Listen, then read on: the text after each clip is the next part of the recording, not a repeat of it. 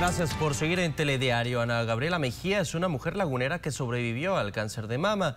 Sus quimioterapias terminaron el pasado 13 de noviembre y ahora invita a los demás ciudadanas a autoexplorarse.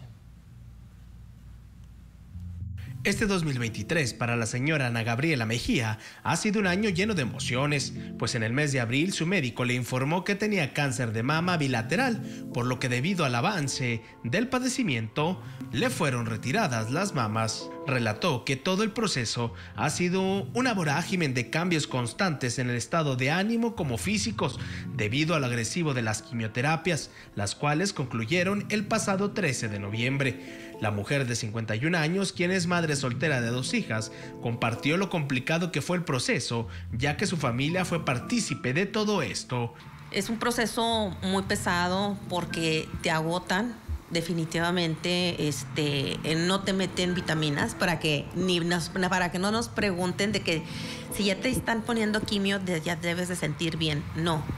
Este las quimios es ese medicamento que ataca nuestro sistema inmune a su vez también ataca las células cancerígenas. Para qué para que nuestro mismo cuerpo luche y se vaya regenerando explicó que a pesar de presentar dos tipos de cáncer y gracias al apoyo de los médicos y su determinación, pudo salir victoriosa de este proceso. Ahora espera que la remodelación del área de radiación en la torre de especialidades de la Clínica 71 del IMSS concluya para poder iniciar con sus 25 radioterapias y así terminar dicho tratamiento contra el cáncer. Falta un paso más para poder tocar la campana, así es. Es un paso que son las radiaciones. Las radiaciones es un proceso este, más, menos, menos este, agresivo, es más ligero.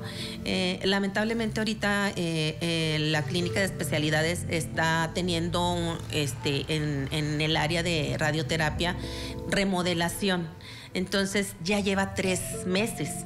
Esos tres meses para nosotros que estamos terminando las quimioterapias son muy importantes. ¿Por qué? Porque terminando nuestras, nuestras quimios, seguimos con las radiaciones para poder terminar y poder decir estoy libre de cáncer. Con imágenes de Cristian Morúa, informó para Telediario Rolando Guevara.